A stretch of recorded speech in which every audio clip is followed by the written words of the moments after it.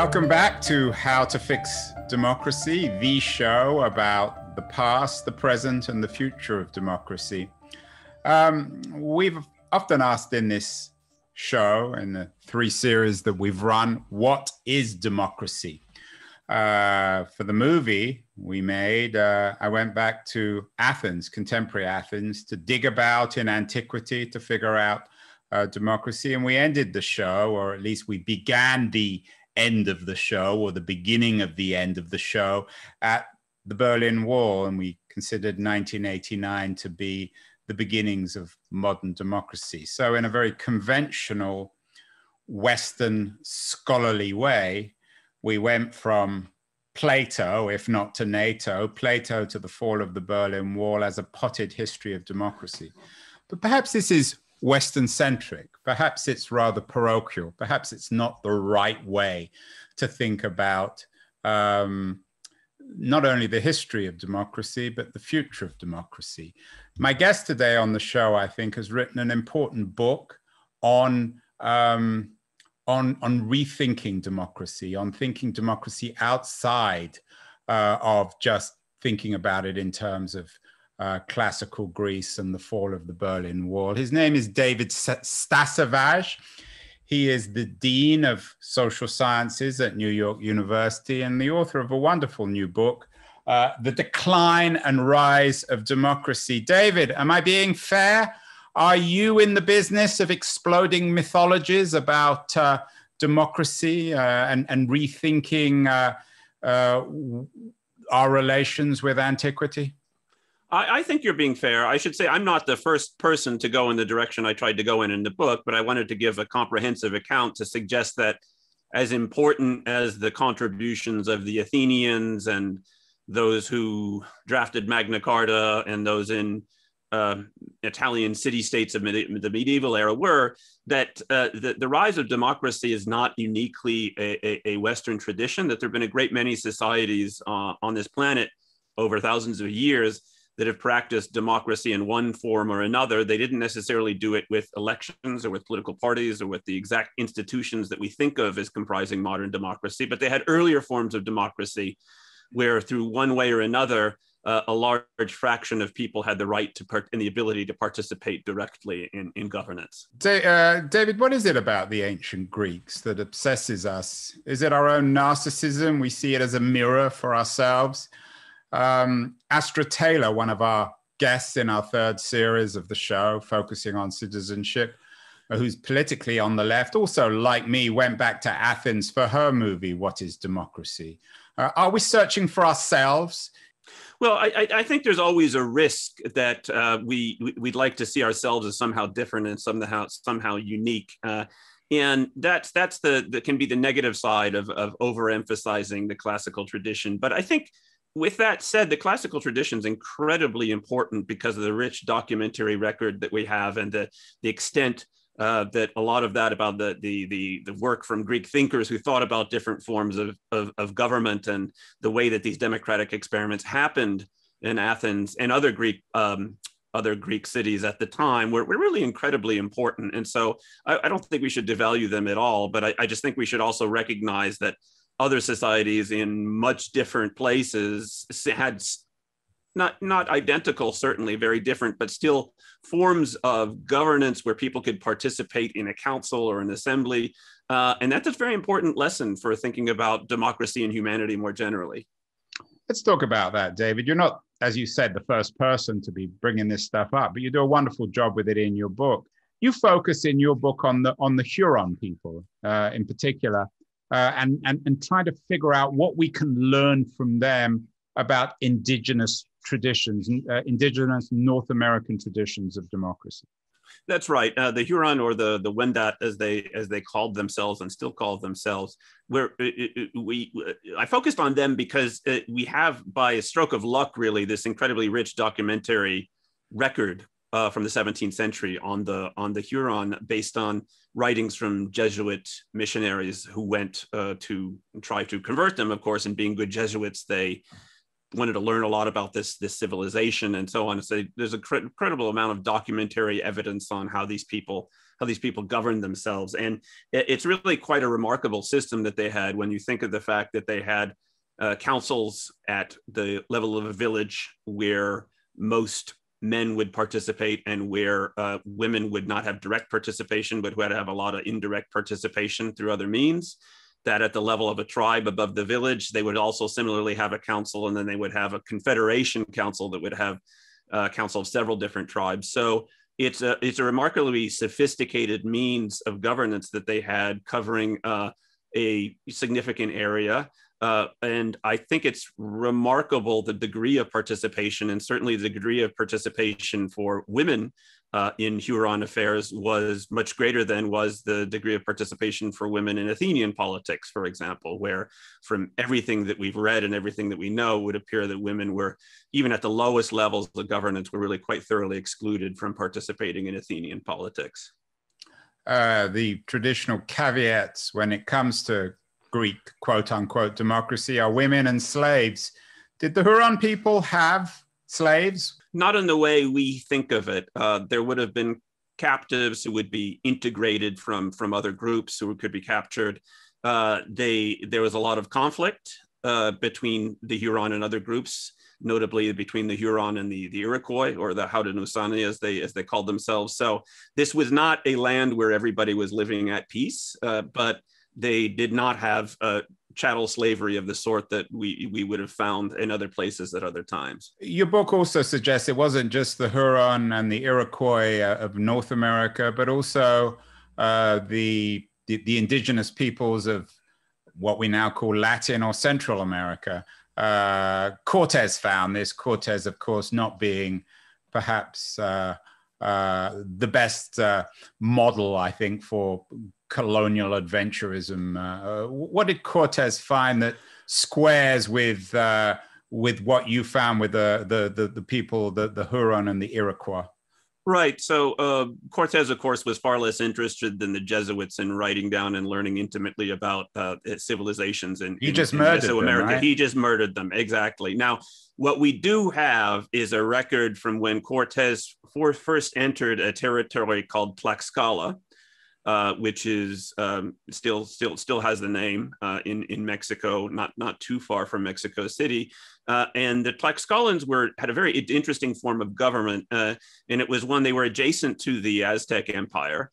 Uh, Aztec Empire had become increasingly autocratic over time, and the Tlaxcalans had a what Cortez saw in his own words as a form of governance that resembled that of Genoa or Venice in the medieval or early modern era, and that there was no one supreme individual, and that there was a council of, um, by some guesses, 150 to 200 individuals, or maybe more, uh, who run the who ran the place, and so it had a, a, very republican feel to it, which we would think of as being very surprising. And I don't suspect that he expected to find what he did find there, but but uh, thankfully, either he wrote it down in his letters back to Charles V, and it's a it's it's an interesting it's an interesting comment. And there's a lot of there's people and archaeologists and anthropologists who have done further work on that on that society that really back up quite strongly the idea that this was an uh, was a, a, a, territory or a polity uh, that was not a, a monarchy, uh, it was not an autocracy,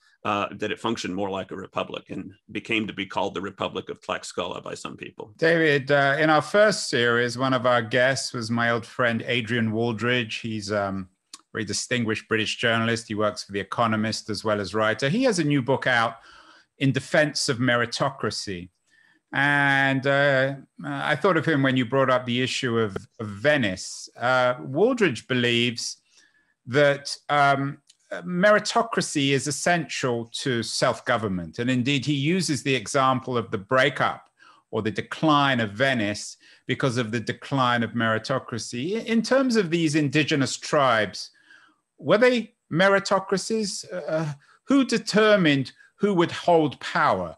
Who determined uh, success and authority in these social and political structures? Yeah, so let's let's come back to the the the Iroquois and the Huron examples. Uh, it, it's very interesting in that they didn't have elections, and so we might think, well, how could you have a meritocracy without elections? But what they had was a system where chiefs would often come from a specific lineage. Uh, but just because they came from a specific lineage doesn't mean it was one specific person who inherited in the way that someone inherits, say, the British crown. Uh, chiefs were actually nominated by um, clan heads, and clan heads were women in, in, these societies. And it was possible as a chief that once you were nominated, you were not chief for life. Uh, that was that was not the deal. That you could be you could be removed if things weren't going well. Uh, and we have examples from the that the Jesuits wrote about where there were discussions about saying uh, perhaps we don't want to nominate this person because there would quote be too many broken heads, uh, in, meaning uh, too mm. much conflict. Or maybe remove them because there were too many broken heads. And so, in a lot of early democracies, I'm coming back to the Huron and the Iroquois examples, but there was a feature of this where, as a chief, you had to continue to prove your mettle. You weren't there in the way we often think of chiefs as being inheriting it from their father and being chief for life until until you die. David, in your book, uh, "The Decline and Rise of Democracy," you come up with a a theory of democracy, a civilizational theory um, you suggest that some civilizations, for one reason or another, embraced democracy, other others didn't. Uh, you talk about the indigenous uh, tribes of North America as being sympathetic to democracy, but in your analysis in a chapter on the Middle East, you suggest that democracy died or didn't exist in the Middle East. How would you compare and contrast the typical Middle Eastern society with the indigenous tribes of North America? Well, in, in early, uh, in pre Islamic Arabia, there would have been certain strong similarities between what one would have found among certain societies in North America, and that these governance was at a local level, small scale, uh, again by uh, by discussion, a lot of discussion. The people who were what you would call chiefs uh, often had very little power over everybody else. All power was through consultation and compromise and convincing people to do what you want. You didn't have an army with you or a bureaucracy or anything like that. And so there were forms of de- governance in early pre-Islamic Arabia that had a had a had a ring of democracy to them, just like in a lot of other uh, societies elsewhere.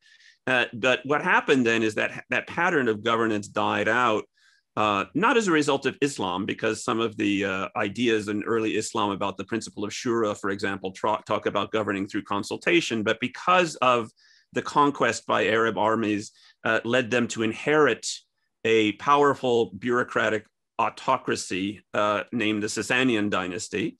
Uh, and what they, have since found was once they inherited the Sasanian bureaucracy, they just sort of got rid of the leaders and said, "We're going to take your your system as it is." Uh, for taxing people and raising money and waging war, then the caliphs uh, no longer had much of a need to govern through consultation or govern through persuasion uh, because they had they could have an army that they could finance by this by this uh, rich agricultural region that they had just conquered, and the taxes would be collected by a bureaucracy, and all the technologies for administering that had already been established by the Sasanians before them. So it's an example of democracy dying as a result of someone inheriting a state bureaucracy. This issue of the state and of a state bureaucracy and centralized power, I think, is central in your theory of democracy in Adrian uh, Wooldridge's new book, he, he warns us that the Chinese have been refining their model of meritocracy now for 3,000 years. And as we undermine ours, or in at least in his view, if we undermine ours, then the Chinese model will become increasingly successful and we will tilt cultural, political, economic power towards China. What is um, the place of China in your theory, in your narrative? Are they a model of democracy, or is there a kind of meritocratic state order in some ways antithetical to the kind of uh, democracy that uh, you see uh, around the world in other places, like uh, the indigenous tribes of North America? Yes, it's it's it's it's, it's precisely it's a it's a meritocratic, or it was at times a meritocratic uh, model that was completely different from the democratic model from the democratic tradition in the sense that you start off with from a very very early period of time a democrat sorry a bureaucratic state and then the several dynasties develop uh, this very sophisticated examination system that turns out to be a way to recruit and promote people by merit. Um, and as a result of that, you have a method of governing that, in theory, gets you the best people. Uh, and that doesn't rely on any of the democratic means that we might think of uh, in in the West today. And so I think that the key thing about the Chinese model is we should recognize the the, the success of it, and we should recognize the uh, I don't want to say perennial, but long enduring uh, uh, nature of it. And so when he speaks about three thousand years, that's that's precisely about the right the right uh, time length to to to attribute to it. I'm not sure entirely, David, though, what your theory of democracy is. If it's a kind of self government, isn't bureaucracy a form of self government? It is can be a form of self government if you have members of society, say in a legislature, who are actively controlling the bureaucracy and not letting the bureaucracy do just what it wants. And so that's where I think the question of sequencing is critical because if the bureaucracy comes first without traditions of self government, uh, or self government as we would think of it in the West today, then the risk is that it'll be very hard to develop self government through councils or assemblies or legislatures after that point. But if instead one starts with a strong tradition of governance through councils or assemblies or legislatures, one could hope to add a bureaucracy in after that uh, as happened in England, for example, and that you can hope that then a ruler and a parliament or an assembly or whatever it's called uh, could develop and organize the bureaucracy jointly. And so then that does become a method of self government. It's just you're delegating the day to day tasks of government to people who are most expert in that. But th- they ultimately are subject to political control and to democratic control. David, you brought up the issue of women uh, earlier. Um, and the issue of women when it comes to uh, political power and democracy in, in, in the indigenous tribes of North America. How do you see uh, the success of female power in indigenous societies in contrast with the way in which women were excluded from early models of Western democracy, even American democracy?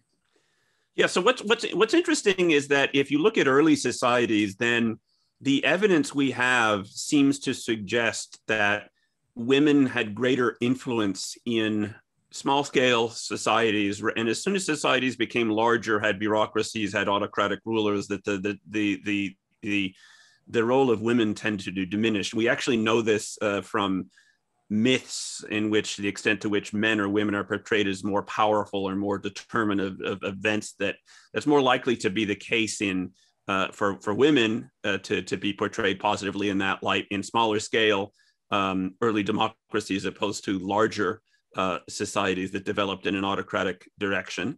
And so there's this odd feature that it would seem with initial forms of political development often uh, sometimes led to the exclusion of women in a way that then excluding them from participation that they had previously had. But then, of course, with and then of course the long history of European political development is one of the exclusion of women until a very, very late date in the game, and then it's only in recent uh, recent times that we get uh, increased uh, female participation in politics again. So it's almost as if there's this sort of U-shaped phenomenon where uh, female participation starts out in many societies fairly high, but then drops as as they develop, and then only rises again uh, in, in, in, in more recent times. David, would it be fair to say that there's a, a polemical em- element to your book and your narrative about democracy, suggesting that we in the West shouldn't be as triumphant, as self congratulatory uh, about the achievements of Western democracy? Is there anything to be proud of when it comes to the birth of modern democracies? over the last 200 or 300 years in Western Europe and the United States? Oh, sure. I think there's a, there's a lot to be proud of, and that this required a lot of ingenuity in terms of thinking about politics and how things should be constructed and what our institutions should look like. And so, the the story, the development of modern democracy, is is really quite a mar- remarkable one uh, that we can should continue to study as we always had. I think what I would suggest is that uh, there are other peoples and other societies who also developed ingenious forms of thinking about governing themselves democratically. And so we ought to also pay attention to them. We shouldn't only look at ourselves because ultimately our own uh, model of modern democracy is something that hasn't been around for all that long. If you think of early democracy as something that existed in many cases for thousands of years, that our own our own institutions are very recent and it's possible that they'll evolve over time. It's possible they'll need to evolve uh, in a way that would uh, lead to continued democratic success and renewal. Recently, we had on the show uh, the American politician um, uh, Tom Malinowski arguing that uh, America should take the lead in a conference about democratic renewal. We also had Ben Rhodes, uh, Barack Obama's former uh, foreign policy advisor on the show. He has a new book out, After the Fall, which sees uh, the future and possibilities of America, uh, of democracy around the world, very much through American lenses, through the prism of American democracy. Do you think thinking like Rhodes and Malinowski is correct? Should countries around the world measure and temper their democratic advance through uh, through through American democracy? Do people have much to learn from the model here? We, we have to be realistic and recognize that the last few years ha- have done a lot of damage, not just to our democracy, but to the impression that our democracy creates to people abroad in other democracies that haven't uh, seen in many cases the same sort of backsliding that that that that, that we have, and so I think we'd have to be uh, prudent about that. I think the American model is still useful to think about. Uh, it's probably useful to think about in terms of things that have worked and in terms of things that have not worked, like the excessive degree of polarization that we have. And so I think if if other people in a in a country like Ghana, which is a democracy today, are looking at us, they'll probably see some things that they might like which would work more like in the US. And there's probably some things that they're very grateful that it doesn't work like uh, in, in the US. Uh, so that I think I think we'd have to be tempered in our in our reaction to those sorts of ideas. Is temper a, a polite academic euphemism, David? I think that's a polite academic euphemism. Yeah. Can we have yeah, another think, word? Should we just I, I, should well, we just be a little bit more humble? Is that a better way of thinking we, about it? Perhaps we should do that. And I certainly it, it, really depends upon how this thing would get organized. I think it's it's a good idea, but it it really it shouldn't be I can't imagine anyone serious thinking about, say, doing this in the model that it might have been, say, in the Clinton era in the 90s, where the Berlin Wall had fallen, all these countries were turned democratic, the US was growing, and it seemed like this was a, a moment where we had much to tell everybody else. We, maybe we still have things to tell other, others, but maybe they have things to tell us too. David, in our third series of the show, focusing on citizenship, we've had a a number of discussions about the value of, of a civic education. You've done a lot of writing and thinking on this front too. Do we need to renew civic education, reinvest, focus on schools, universities, places like uh, NYU? I, I, think we need to focus on schools, uh, basic schooling, teaching basic civic education in our primary and secondary schools in particular. Uh, I, if you go back to the early republic in the United States, that's a great example where uh, several decades after the founding, there was a distinct worry: would people actually want to participate d- democratically by voting, by by, but instead of rebelling or engaging in things like the Whiskey Rebellion or Shays Rebellion? And there was a sense at the time that said, well, we need to educate these people. And so you saw birth of something called the Common School Movement and common school funds administered by a number of US states. I think that provide that movement provides a lot of lessons about maybe renewing civic education today. At the same time, there's a twist to that in that people need to remember if you're renewing civic education, then that's going to have its biggest effect on people who are in their teens or younger today, who are not yet participating politically by voting, who are going to be participating politically by voting in maybe one or two decades. So if you think of some of the, the, the, the problems of American democracy as being more urgent than that, uh, not being able to wait one or two decades, then I think we have to rem- we have to recognize yes, we need civic education, uh, but that's going to be a long-term solution. That's not a short-term solution. Should it be a civic education in humility, teaching these kids that the history of democracy didn't begin with George Washington or Thomas Jefferson, but actually with the uh, with the with the Huron tribe or the Iroquois tribe?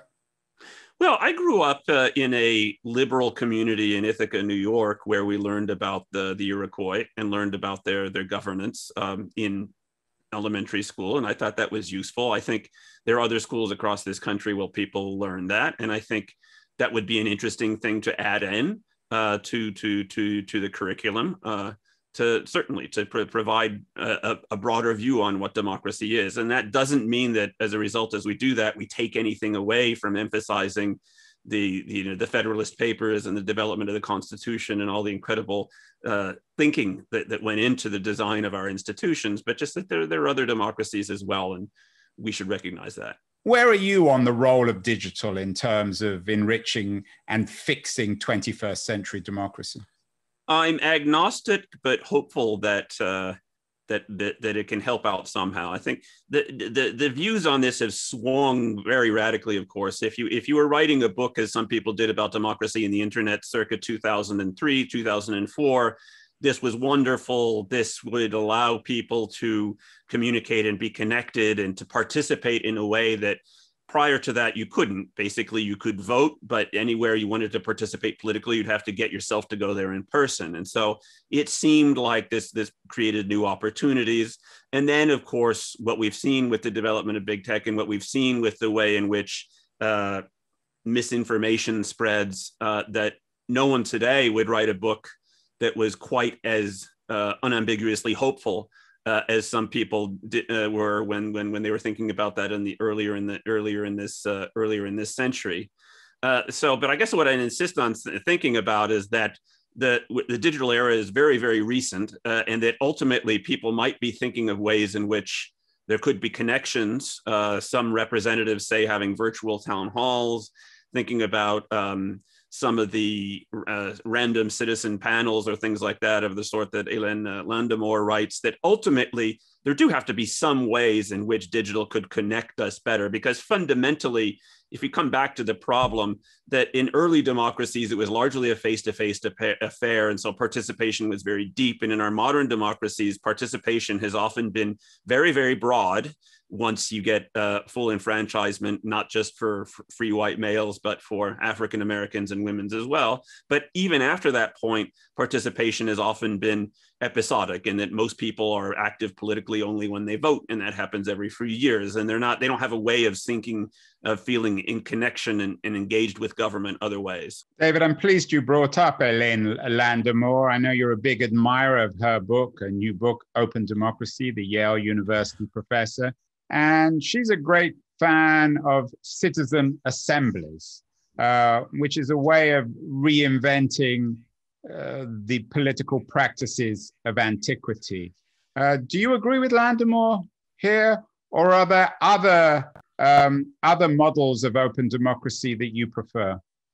I think it's something that uh, it, it, at this point we are in need of uh, uh, creativity and experiments, and so I think I see the the, the randomly drawn citizens assembly as a very interesting idea uh, to think about as a complement to to what we've already had. I think the the thing to remember, I suppose, is that in earlier times when uh, people, perhaps for some bodies, were chosen by lot, that it was often the case that that was for a brief amount of time and that ultimately the principle of election won out over principle of selection by lot and part of it comes back to a uh, the idea that we were talking about earlier about meritocracy and, and, and selecting by merit. And so there's a real tension there. Uh, Hélène's, uh, her men, one of her mentors, Bernard Manin, wrote a, a, a, fantastic book called The Principles of Representative Government that is all about the development of elections and how elections come with this feature of the principle of distinction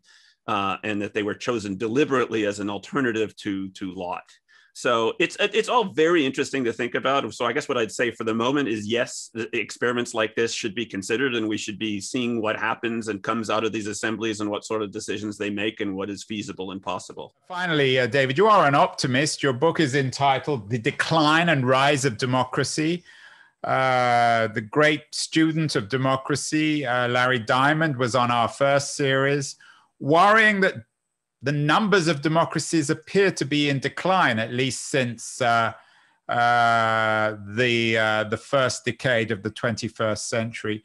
Why do you remain an optimist about the rise of democracy? I, I think it really depends upon what your expectation was circa 1989 with the fall of the Berlin Wall, where there's been tremendous expansion in the in the number of democracies worldwide, to the and and and I, I I think the way some people were writing and some people were thinking in, in at, at that moment was said, well, this is just the wave of the future for all societies, and even China, as they grow richer, they'll become democratic. And so, for if if you were that uh, if that was your expectation, then I think yes, you probably no longer as optimistic today. But I think that also means that you had an unreasonable expectation to start off with, because if you look throughout human history, there's always been a mix of autocracies and democracies. Neither form of governance has been dominant.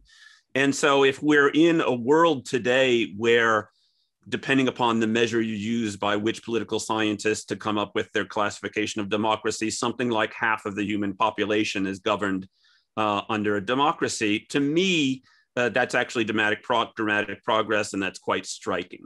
Uh, so if you had a tempered expectation to start off with, a more realistic expectation in 1989, then I don't think you'd be so disappointed and and uh, and uh, and pessimistic today.